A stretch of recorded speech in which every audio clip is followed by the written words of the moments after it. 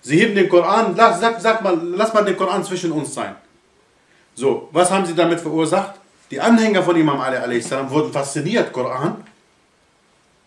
Das Recht gehört Allah oder das, das, das Scheiden gehört Allah.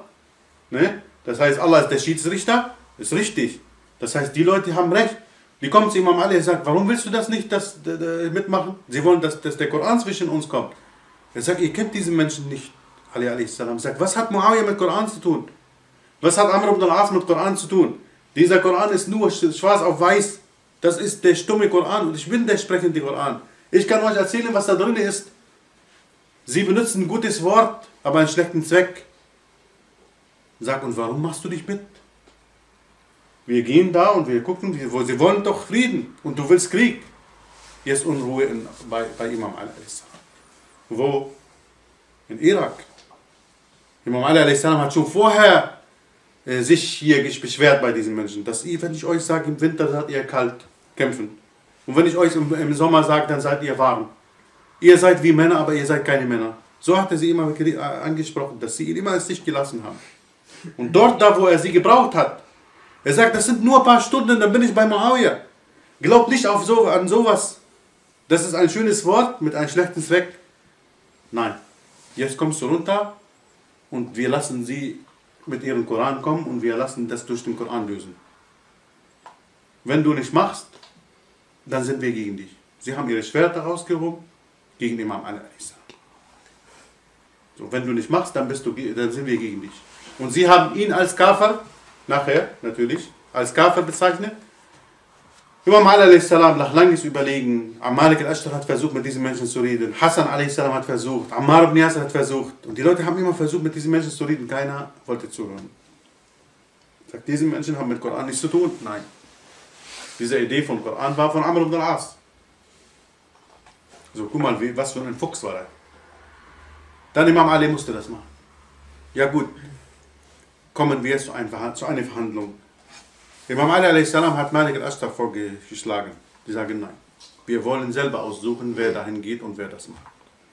Natürlich durch, durch seine Agenten konnte Muawiyah und Amr ibn al-As da zwischen die Armee von Imam Ali a.s. solche Gerüchte äh, hier schmuggeln, dass sie irgendwie auf eine Person tippen, was Amr ibn al-As gewählt hat. Der Verhandlungsperson von der Seite von Imam Ali a.s nämlich Abu Musa al-Ash'ari. Wurde vorgeschlagen Abu Musa al-Ash'ari. Imam Ali sagt, Abu Musa al-Ash'ari ist, ist, äh, ist schwach. Und der kann, kann man ihm nicht vertrauen.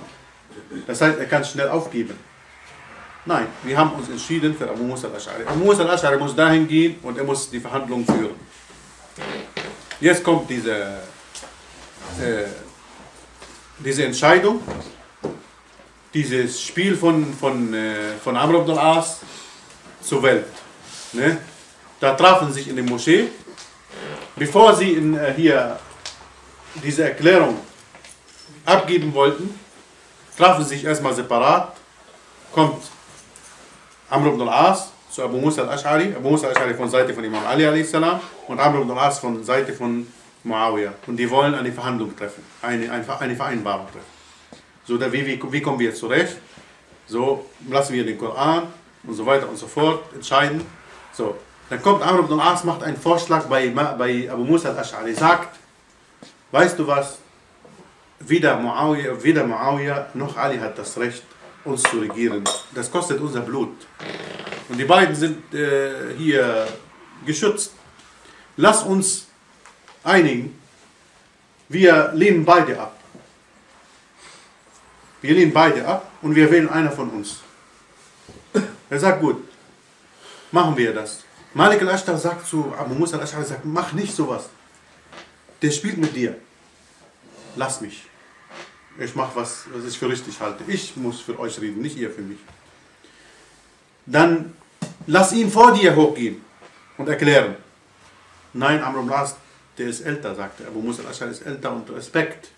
Der muss vorgehen und er muss erklären geht Abu Musa al-Ash'ari nach oben, erklärt, oh ihr Menschen, oh ihr geglaubt haben, und er, er lobt Allah subhanahu wa ta'ala, betet, er segnet Muhammad sallallahu alaihi wasallam, und dann sagt er, ich habe gesehen, ich habe mit, mich mit ihnen äh, äh, geeinigt, dass wir, dass wir, dass ich Ali von, von meinen, von meinen Bay'a, von meinem Eidesschwur zurück, also ich, ich mich zurückziehe davon, entbinde davon, dass ich nicht mehr für ihn, äh, hier, für ihn äh, stimme, wie ich meinen Ring von diesen rausziehe.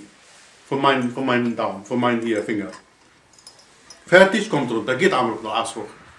Er sagt, oh ihr Gläubigen, oh ihr, die geglaubt haben, äh, nachdem er Allah gelobt hat, habt ihr gesehen, der Mann hat jetzt sein Imam aus dem Finger rausgenommen und ich nehme auch sein Imam von meinem Finger raus und tue ich da rein wie Muawiyah. Das heißt, ich, nehme, äh, ich, ziehe, ich lehne Ali ab und akzeptiere Muawiyah.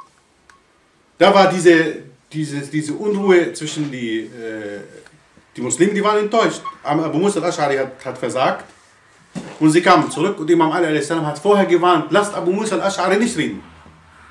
Abu Musa al-Ash'ari ist schwach, Abu Musa al-Ash'ari ist naiv, Abu Musa, aber, aber sie haben nicht äh, geglaubt. Jetzt kommen die Khawarij, die ihn dazu gebracht haben, das zu akzeptieren, was Amr ibn al-As angeboten hat. Sagt, warum hast du mitgemacht? Zu Imam Ali Ihr habt mich dazu gezwungen, dazu gezwungen. nein, das, du hättest nicht auf uns hören müssen. Selbst wenn wir euch nicht dazu zwingen, hättest du als Imam das erkennen können, dass das falsch ist und hättest du nicht mitmachen müssen. Und deswegen bist du von uns auch Kafir. Dann entsteht diese Khawarij. Und die haben Krieg erklärt gegen Imam Ali. So, das heißt, äh, dieser Gift von, von den Umayyaden, diese Gift von den Umayyaden, was wir heutzutage, heutzutage sehen mit diesem Bertha und was weiß ich, was da immer im Internet verbreitet wird, ne? Jeder hat einen Namen äh, sich geschnappt, einer Abu, Abu Fulan, einer Abu Fulan. Einer heißt und dann, Abu Muawiyah. Und Abu Muawiyah, Abu Yazid, habe ich letztens gelesen, Abu Yazid. Das heißt, die, sie, diese Hörner des Teufels, ne? die wachsen immer wieder und sie sind wie Unkraut. So, das heißt, die haben das geplant damals, Imam Ali a.s. zu bekämpfen, das Symbol des Rechtes. Imam Ali a.s. Muhammad sallallahu sagt, Ana silmun liman salamak wa harbun liman harabak. Das heißt, ich bin Frieden für diejenigen, die mit dir Frieden stiften. Und ich bin Krieg gegen denjenigen, die dir, gegen dir einen Krieg erklären. Das heißt, wenn du jetzt gegen Ali a.s. kämpfst, bist du gegen Muhammad sallallahu. Und heute diejenigen, die im Internet sich verbreiten und sich Abu Yazid und Abu Muawiyah nennen, sie erklären einen Krieg gegen Muhammad sallallahu nicht gegen Ali a.s., nicht gegen Schiiten, nicht gegen Schiiten. Dieses, diese Gerüchte, was sie verbreiten, Schiiten hassen die Sahaba, stimmt gar nichts. Das ist eine Lüge. Die Schiiten hassen nicht die Sahaba. Die Schiiten hassen Sahaba, aber nicht die Sahaba. Die Schiiten hassen, die sich Sahaba nennen, wobei sie gar keine Sahaba waren. Die sagen nur das, damit sie die anderen davon ablenken oder das alles verschleiern, was Wahrheit ist, nämlich dieser Sahaba war gut und dieser Sahaba war schlecht, dieser Sahaba war gut, dieser Amr ibn al-As, das reicht, der war Sahaba, Muawiyah war Sahaba, ne? der war Sahaba, der hat gekämpft gegen Imam Ali und er kannte, er kannte gar keine Grenzen. Alleine, dass er Hajr ibn Adayl kindi umgebracht hat. Hajr Ibn Uday, Ibn Uday al-Kindi, der war ein Liebling von Imam Ali a.s. Er hat, er, hat, er hat sich selbst und seine Familie für Imam Ali a.s. geopfert. Ammar auch. Und Ammar. Und dann steht er vor, vor Muawiyah. Nur, dass er Ali a.s. ablehnt und beschimpft, macht er ein Angebot Muawiyah. Sagt, du hast eine Wahl. Willst du lieben, brauchst du nur zwei Worte. Lest, machst du, verdammst du Ali, schimpfst du gegen Ali und bist du gerettet. Und wenn nicht, ich bringe dich um und deine Kinder. Seine zwei kleine Kinder sind vor ihm, stehen sie vor ihm, vor Muawiyah. Mit, mit Hajr. Hajr sagt, ich mache das erst aber, wenn du meine zwei beiden Kinder umbringst. Da kann er gerne. Schäftet er die beiden Kinder vor ihm. Sagt Hajr zu, Amma, zu, zu Muawiyah, sagt, weißt du, warum ich dir das gesagt habe?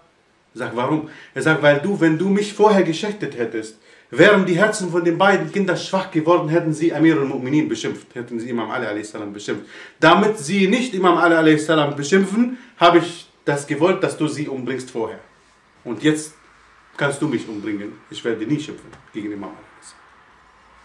Wie wollen Sie diese, diese Liebe von Imam Ali a.s. von unserem Herzen, wenn wir Nachkommenschaften von diesem Mann wären oder sind, entwurzeln?